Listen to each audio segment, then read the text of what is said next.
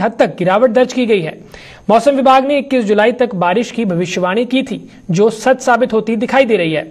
किसानों के लिए ये बारिश वरदान साबित हुई है तो कहीं शहरों में ड्रेनेज सिस्टम की भी पोल खुल गई है। कई इलाकों में फिर से जलभराव होने से लोगों को काफ़ी दिक्कतों का सामना करना पड़ा। कई जगह तो किसानों के लिए अच्छा भी है तो कई जगह जो सिटीज़ में जो ओवर क्राउडेड सिटीज़ हैं, वहाँ फ्लड भी आ रहा है, लोगों का नुकसान भी हो रहा है तो वहाँ पे भी जो जो लोगों की जो जो म्यूनसिपलिटीज़ की जो नलायकी हैं कई सिटियों में देखने को मिल रही हैं कि जहाँ पे लॉगिंग हो रही है पानी की और लोगों के मकान ढह रहे हैं।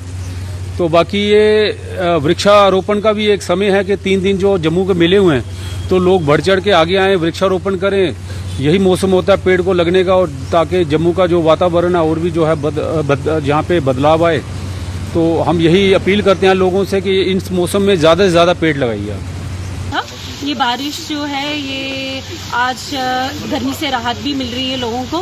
बारिश हो रही है एक किस्म से तो अच्छी भी है और दूसरी साइड से देखा जाए तो ये कुछ इसके दुष्प्रभाव भी पड़े हैं, जैसे कई जगह बाढ़ आ गई है। पर कुछ किसान लोग जैसे उनको पानी की आवश्यकता थी, उनको पानी नहीं मिल रहा था।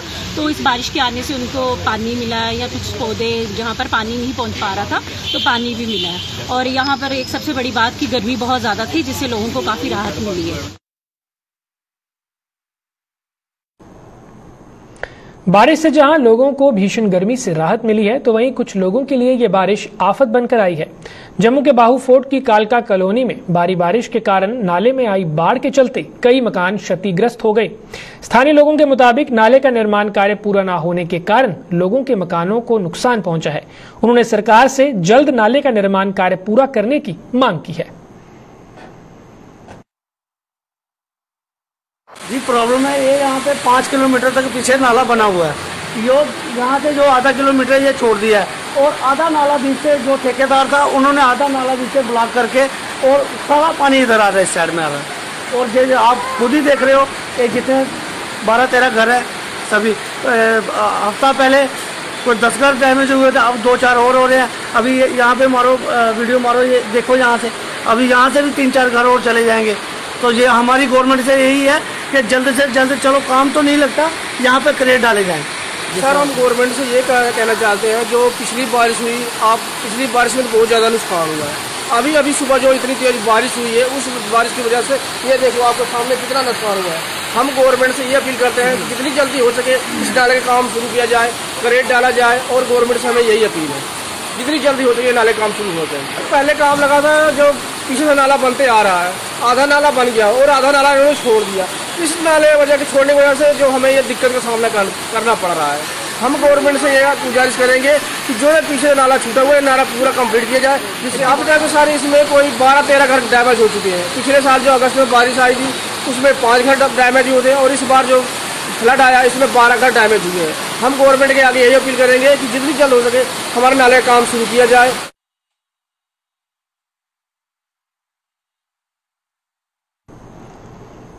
ईद के त्योहार पर डोडा प्रशासन द्वारा तय की गई भेड़ बकरों की कीमतों से व्यापारी खुश नज़र नहीं आ रहे हैं। उनका आरोप है कि प्रशासन ने उन्हें रुसवा किया है और तयशुदा कीमतों पर माल की बिक्री करना उनके बस की बात नहीं है। डोडा प्रशासन ने प्रति किलो के हिसाब से जो कीमत तय की है, जिससे उन्हें नुकसान उठाना पड़ रहा है। दूसरी ओर बात करें अगर ज़िले, जिला के भद्रवा इलाके की तो यहाँ के आम लोगों ने दुकानदारों पर उनके साथ लूट खसूट करने का आरोप लगाया है। उनका कहना है कि दुकानदार प्रशासन द्वारा तयशुदा कीमतों से ज़्यादा वसूल रहे हैं और उनके खिलाफ कोई कार्रवाई नहीं की जा रही है। तो ये बकरा जो है, कम से कम पंद्रह हज़ार की इसने साल में मक्की खाई। कैसे मैं इसको 225 का बेचू? जरा आप मतलब जरा सोचे, एक दिमागदार की तरह। और हमेशा मुझे बताएँ कि जो हमारा मुल्क है, जो हमारा डिस्ट्रिक्ट ये आगे के लिए चलता पीछे के लिए। अगर ये आगे के लिए चलता तो इन्होंने पिछली बार हमें दिया दो सौ पचास रेट एक साल पीछे। अब तो कम से कम हमें उम्मीद थी इन्होंने रेट करना था। इनका हुक्म जो है, हमारी सर आँखों पर, हम इनकी इज़्ज़त करते हैं और करनी भी चाहिए। लेकिन आप मुझे बताओ, अगर इन्होंने रेट बढ़ाना था, कम से कम एक डेढ़ महीना पहले इन्होंने रेट हमें बढ़ाना था। या घटाना था, क्योंकि हम भी जब गाँव में माल लेने जाते तो हम उसी रेट के हिसाब से माल लेते गरीबों का खास ख्याल रखते हुए इस पे फटाफट अपनी तहसील एडमिनिस्ट्रेशन को आगाह करें और कल जो है, सुबह सुबह ही जो है मार्केट में क्या कहते हैं, चेकिंग हो और जो भी मुर्गा फरोश दो रुपए के हिसाब से बेचे, उसके खिलाफ कानूनी कार्रवाई की जाए। देखिए, इसमें इसमें मैं एक चीज़ कहूँ कि इसमें सब लोगों का बदला के लोग जितने भी हैं ये बोलते कुछ नहीं है। और अगर ये बोलें तो यहाँ की मनमानी मनमानी जो है, ये लोग करते हैं, ये दोबारा नहीं होगी। किसी न किसी आदमी को तो आगे मतलब कि निकलना पड़ेगा। कुपवाड़ा की सब डिवीज़न हंदवाड़ा में लोग ईद की खुशियों में कुछ इस कदर डूबे हुए हैं कि कोरोना महामारी का डर खौफ भी उनके दिलो दिमाग से गायब हो चुका है। आपकी टीवी स्क्रीन पर दिख रही ये तस्वीरें ये साफ़ बयां कर रही हैं कि आम लोगों के साथ साथ दुकानदार भी किस तरह एसओपीस की जमकर धज्जियाँ उड़ाने पर लगे हुए हैं। आलम यह है कि ईद की जमकर खरीदारी करने वाले लोग एक मास्क तक नहीं खरीद पाए और ये छेंज का कपड़ा भी उन्हें पुलिस ने मुहैया करवाया। हंदवाड़ा के बाजारों में सोशल डिस्टेंसिंग का भी नामो निशान नज़र नहीं आया और पुलिस प्रशासन भी ऐसे लोगों को सबक नहीं सिखा पाई।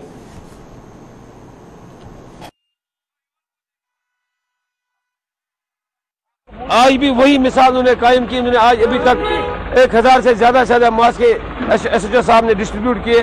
हम काफ़ी शुक्रगुजार हैं हमारे एस एच ओ साहब के। वो कोविड को हटाने के लिए, कोविड को की दूसरी चेन को ब्रेक करने में हंदवाड़ा में इनका सबसे नंबर वन रोल इनका रहा और हम इनके काफ़ी शुक्रगुजार हंदवाड़ा इस कस्बे के लोगों से यही इस्तदा करूँगा कि वो एस ओ पी फॉलो करें जम गफीर में न जाए बड़े बड़े हजूम है जो वो न बनाए।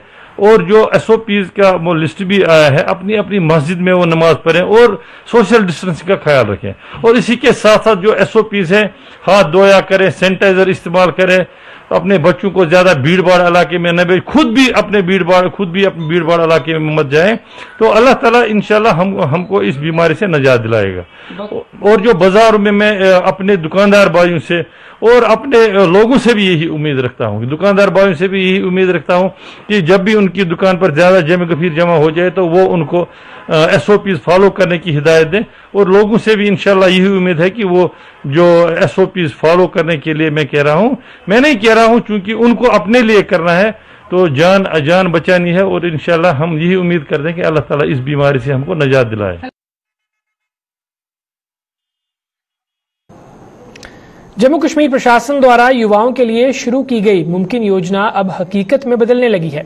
इस योजना के तहत युवाओं को कमर्शियल वाहन सब्सिडी पर मुहैया करवाए जा रहे हैं और आज जम्मू कश्मीर के कई जिलों में इस योजना का लाभ ले चुके युवाओं का सपना पूरा होता दिखा।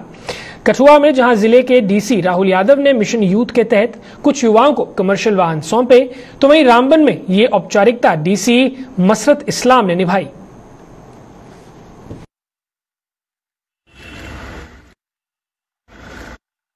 आज मुमकिन स्कीम के तहत, जो हमारे 18 से 35 साल के वो युवा, जो कि अपना खुद का काम स्टार्ट करना चाहते हैं कमर्शियल व्हीकल लेना चाहते हैं, उनको सब्सिडाइज्ड वे में उनको व्हीकल्स दिए जा रहे हैं। इसी तहत, इसी के तरह तेजस्विनी स्कीम जो हमारे महिला एंटरप्रेन्योरशिप के लिए हैं, उनके लिए इसी तरह से हमारा डिस्ट्रिक्ट में हमारे यूथ क्लब्स डिफरेंट डिफरेंट पंचायतों में और म्यूनसिपैलिटीज़ में बनाए जा रहे हैं। हमारे हमारे डिस्ट्रिक्ट में यूथ क्लब भी बनाया जा रहा है, उसके लिए भी पैसा सेंक्शन हो चुका है और उसका काम भी जल्दी ही स्टार्ट हो जाएगा। और इसी तरह से और भी जो इनिशिएटिव गवर्नमेंट की तरफ़ से लिए जा रहे हैं, जो कि चाहे वो कोचिंग को लेकर हो, परवाज स्कीम के तहत डिफरेंट डिफरेंट इनिशिएटिव यूथ को एंगेज करने के लिए जम्मू एंड कश्मीर गवर्नमेंट के द्वारा लिए जा रहे हैं। और मेरा सभी से ये निवेदन है कि वो इन स्कीम्स का ज़्यादा से ज़्यादा फ़ायदा उठाएँ। गवर्नमेंट ने रिसेंटली अनएम्प्लॉयड यूथ के लिए ट्रांसपोर्ट सेक्टर में एक नई स्कीम की अनाउंसमेंट की थी मुमकिन स्कीम की, जो लाइवलीहुड स्कीम है बच्चों के लिए। इससे आज हमने कुछ बच्चों को कमर्शियल व्हीकल्स जो हैं, वो हमने डिस्ट्रीब्यूट की। मुझे इस चीज़ की बड़ी खुशी है कि आज ये स्कीम जो है वो फॉर्मली डिस्ट्रिक्ट रामबन में along with the other districts of UT of J K launch हुई है। After the completion of other formalities ये गाड़ियाँ जो हैं, ये कमर्शियल ऑपरेशंस के लिए उतरेंगी और हमारे बच्चों को गेमफुल एम्प्लॉयमेंट देंगी करीब 30 साल पुराने जम्मू के जीएमसी अस्पताल के सीवरेज व प्लम्बिंग सिस्टम आदि की मरम्मत का काम जोरों शोरों से जारी है। प्रशासन ने पिछले दिनों इन सभी कार्यों के लिए 17 करोड़ रुपए की राशि जारी की थी, ताकि इस परिसर के सभी ब्लॉक्स में कुछ जगहों पर हो रही लीकेज आदि को बंद करने के साथ साथ क्षतिग्रस्त हुए सीवरेज सिस्टम में भी सुधार लाया जा सके।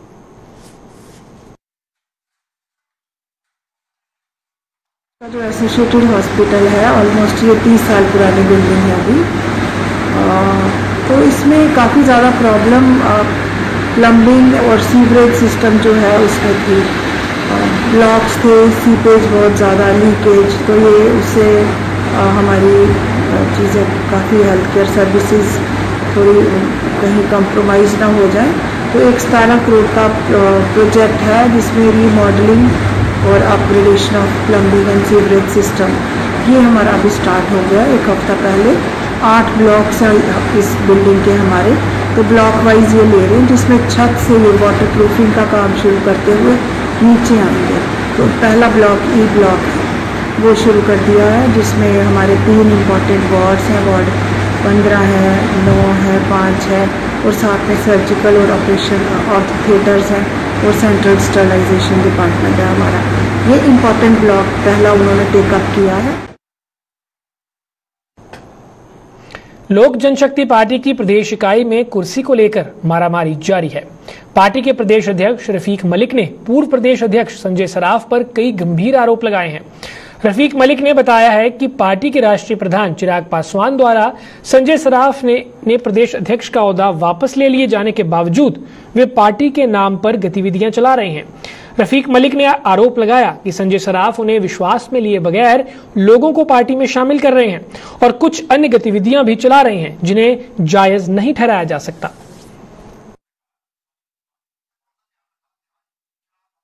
पार्टी ने कुछ बनाया है तो ऑर्डर कापी लेके आप जैसे हम बैठे हैं, आप भी बैठे यहाँ पर काम दे सकते हो। लिहाजा हम ये बर्दाश्त नहीं करेंगे, क्योंकि जैसे हमारे नेशनल प्रेसिडेंट चिराग पासवान जी को उन्होंने बच्चा कहा, वो भी हमने सुना, वो चीज़ को हम बर्दाश्त बिल्कुल नहीं करेंगे। और जो दखलंदाजी हमारी जम्मू कश्मीर में कर रहा है यहाँ पे आके कश्मीर के लोगों को वहाँ ज्वाइन करवा रहा था कल, क्योंकि लिहाजा हम स्टेट प्रेसिडेंट जम्मू कश्मीर के वो क्या हम, हमें भी पूछ सकता वो। पार्टी ने उसको बाहर निकाला हुआ है उसकी ऑर्डर का भी बकायदा आई हुई है, जम्मू कश्मीर ने हमने सबको, लोगों को भी यहाँ दी है कि संजय साहब को पार्टी से बाहर निकाला गया है। आज वो ऐसे एक सियासत लेके बैठे हुए हैं मिनिस्ट्री के लालच में भाग रहे हैं। आज जम्मू के लोगों को, जम्मू कश्मीर के लोगों को गुमराह कर रहा है वो संजय सराफ जी, कि हम बीस हज़ार नौकरी दे देंगे, हम ये कर देंगे।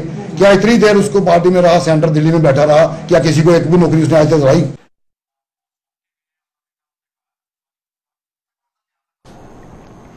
भाजपा नेता बलदेव सिंह बलोरिया ने वार्ड छप्पन गंग्याल में विकास कार्य को शुरू करवाया।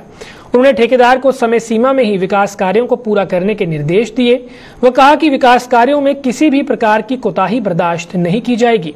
बलोरिया ने कहा कि क्षेत्र में अन्य कई परियोजनाओं परियोजनाएँ जल्द ही शुरू होंगी और समयबद्ध तरीके से पूरी की जाएँगी। क्षेत्र में विकास करवाने के लिए सामान्य और सामाजिक कार्यकर्ताओं से बलोरिया बलो, उन्होंने उसका धन्यवाद किया।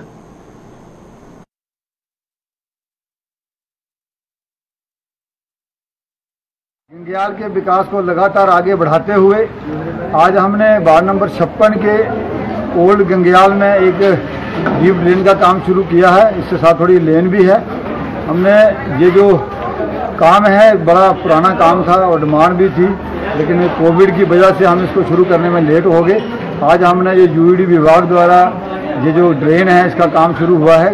लगातार विकास के कार्यों को हम आगे और लोगों को उनके डोर स्टेप तक विकास देने का प्रयास कर रहे हैं। सबका साथ सबका साथ और सबके विश्वास को आगे बढ़ाते हुए कोई भी काम रहे नहीं और लोगों को काम करवाने के लिए लीडरों के आगे चक्कर नहीं लगाना पड़े, घर घर नहीं जाना पड़े, डेकोरेशन लेके नहीं जाना पड़े। उनके डोर स्टेप ही सरकार मिले, चाहे कोई सरकार की स्कीम हो, चाहे डेवलपमेंट के काम हो, चाहे और कोई बिजली पानी का काम हो, इस तरह का हम पूरा प्रयास गैर सरकारी संस्था एंटी क्राइम द्वारा विश्ना में सरकारी भवनों और पंचायतों में सैनिटाइजेशन अभियान चलाया जा रहा है। इस अभियान के तहत संस्था के चेयरमैन श्यामलाल गुप्ता द्वारा पुलिस स्टेशन अरनिया के थाना प्रभारी हरजीत सिंह को सैनिटाइजर, मास्क और ग्लव्स मुहैया करवाए गए।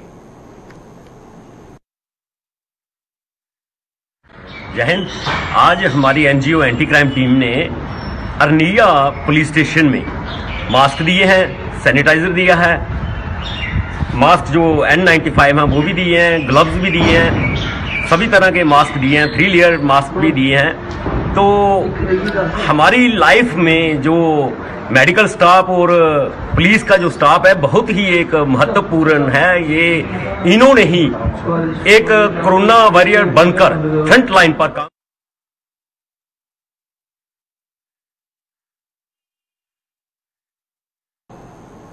महाराजा गुलाब सिंह द्वारा निर्मित पहला रघुनाथ मंदिर आज खस्ता हाल में है। मड़ ब्लॉक के गाँव सुई में स्थित श्री रघुनाथ जी के मंदिर की सही देखरेख न होने के कारण ये मंदिर अब गिरने की कगार पर है।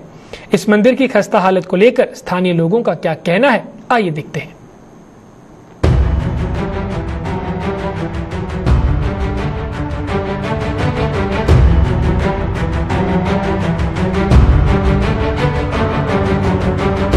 ये वो स्थान है जहाँ महाराजा गुलाब सिंह ने राजा बनने का सपना देखा।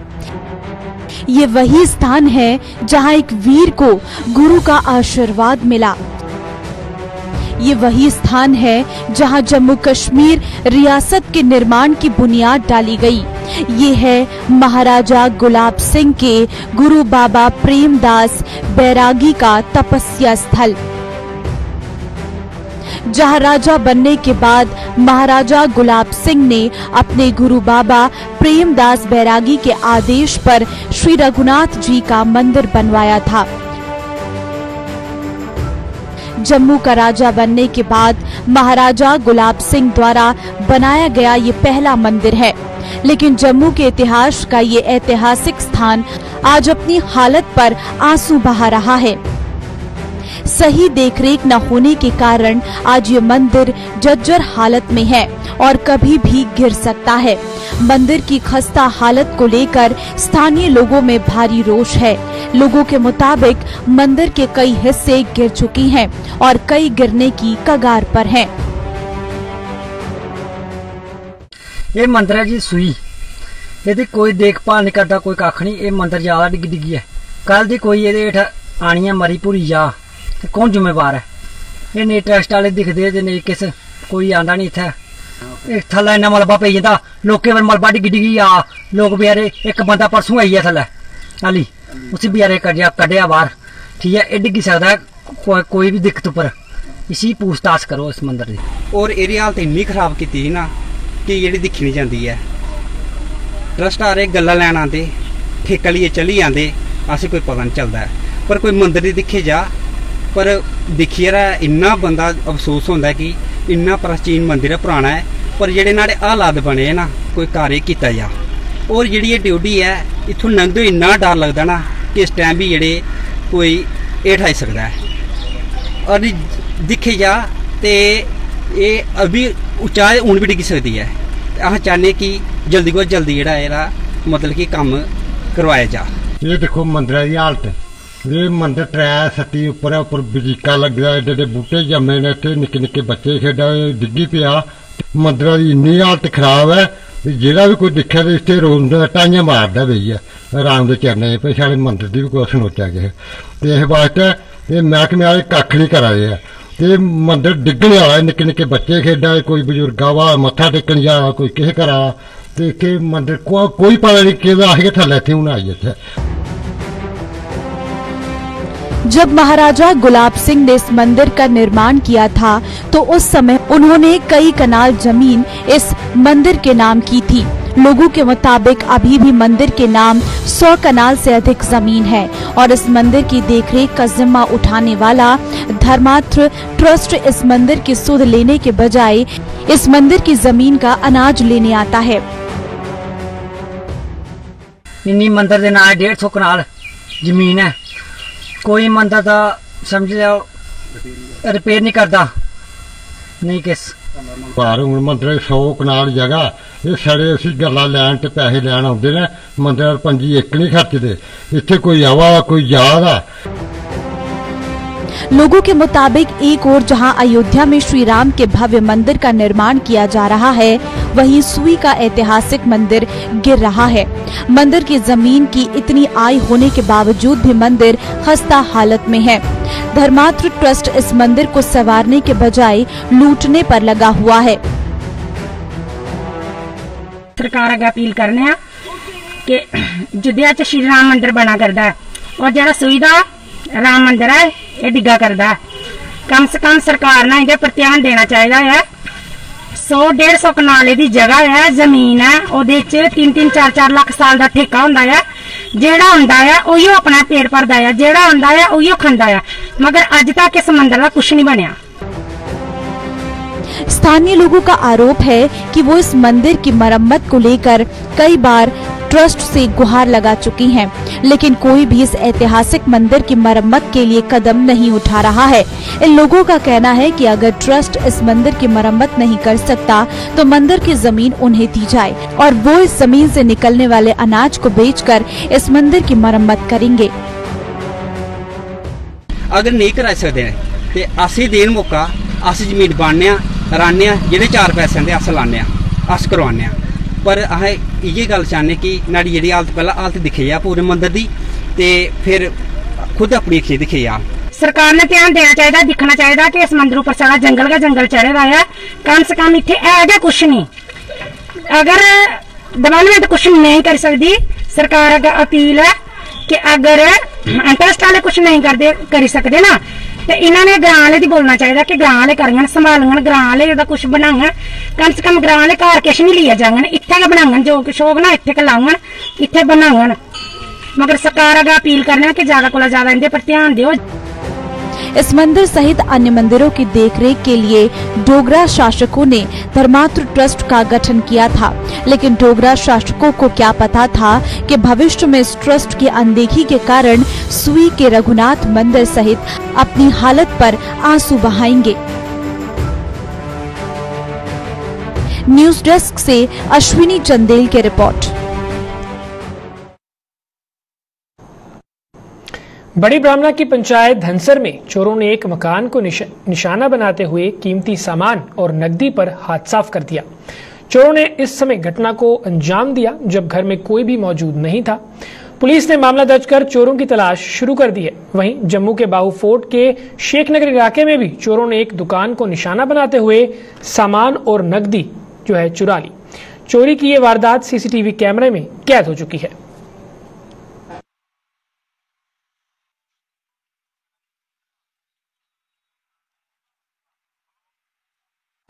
तो गेट का ताला बंद था और ये मेन सारे खुले थे और अंदर अलमारी भी तोड़ दी है। बेटी की नई नई शादी हुई थी, अभी कुछ पैसे सगन के थे, कुछ और हमारे बचे थे, वो थे जी। को करीब को दो लाख के करीब पैसा था जी।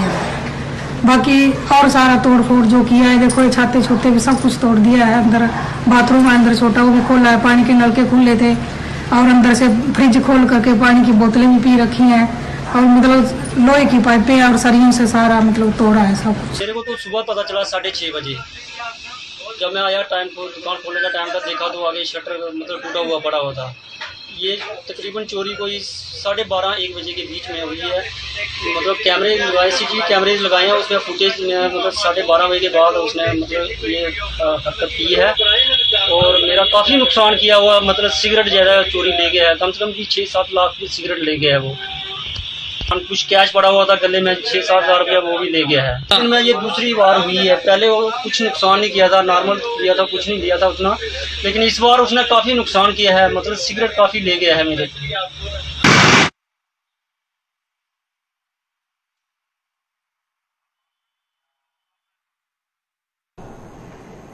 आरसपुरा के मीरा साहिब में स्थित प्राइमरी हेल्थ सेंटर में बने वैक्सीनेशन सेंटर पर लोग सवाल उठा रहे हैं। लोगों का कहना है कि यहाँ पर कोविड वैक्सीन लगवाने आए लोगों को कई दिक्कतों का सामना करना पड़ रहा है। इसके साथ ही उन्होंने सेंटर के स्वास्थ्य कर्मियों के प्रति भी नाराज़गी ज़ाहिर की है। लोगों की ये नाराज़गी क्या है? आइए देखते हैं।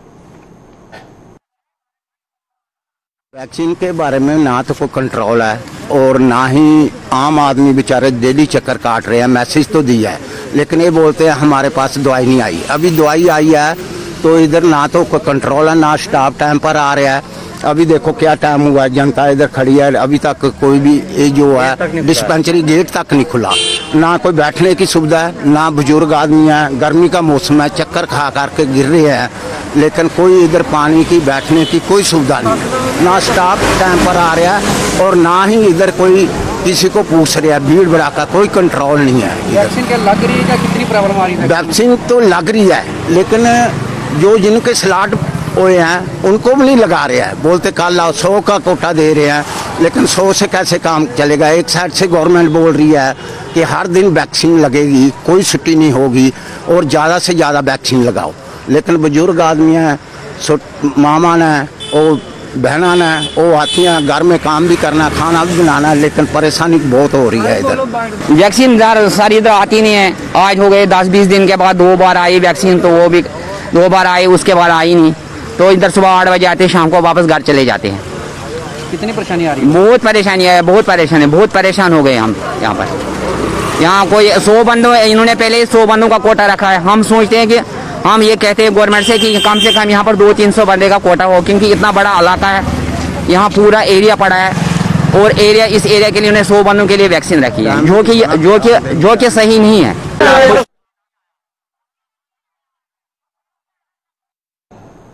फ़िलहाल के लिए इतना ही। मुझे दीजिए इजाज़त। नमस्कार।